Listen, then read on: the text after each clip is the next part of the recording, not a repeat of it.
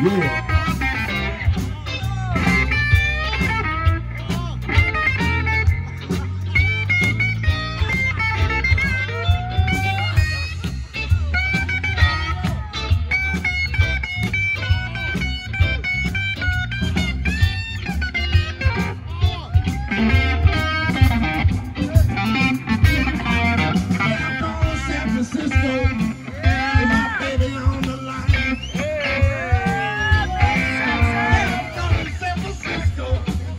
My baby on the line. Yeah.